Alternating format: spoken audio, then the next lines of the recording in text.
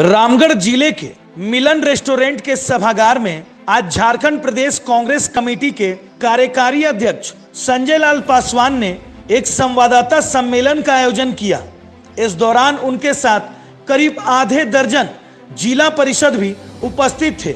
इस मौके पर झारखंड प्रदेश कांग्रेस कमेटी के कार्यकारी अध्यक्ष संजय लाल पासवान ने बताया कि मुझे बहुत अफसोस हुआ कि 15 अगस्त को जिनके ऊपर आरोप लगा है उसे सम्मानित किया गया। यह दुर्भाग्य की बात है और जाँच का विषय है। इसकी जाँच होनी चाहिए। हम चाहते हैं कि ऐसे कोरोना योद्धा जो सही में कोरोना काल में काम किए हैं, उन्हें सम्मान मिलना चाहिए।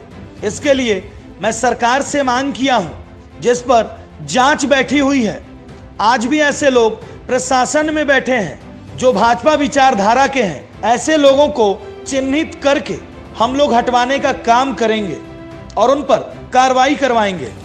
अफसोस हुआ कि जब पंद्रह तारीख को जिसके ऊपर आरोप लगा है और आप उसको सम्मान दे रहे हैं तो ये दुर्भाग्य की बात है, ये जाँच का विषय है, ये जाँच होनी चाहिए।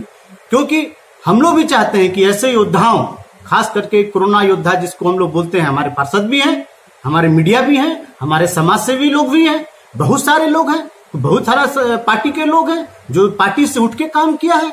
उन लोगों को भी सम्मान मिलना चाहिए। इसके लिए आपकी अग्रिम कार्रवाई क्या होगी? ये मैं सरकार से मांग किया हूँ। उस पर जाँच बैठी है। और जो कार्यपालक अभियंता जिसके ऊपर में जाँच बैठा है उसका जाँच हो। और ये जो पंद्रह तारीख के दिन में जो इनको सम्मानित किया है इसके बारे में भी हम बोल रहे हैं।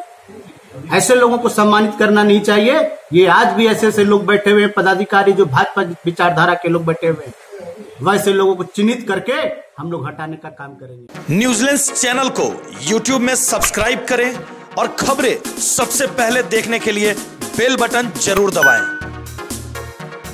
न्यूजीलैंड में खबर की सूचना देने के लिए संपर्क करें और वीडियो व्हाट्सएप करें हमारा संपर्क नंबर है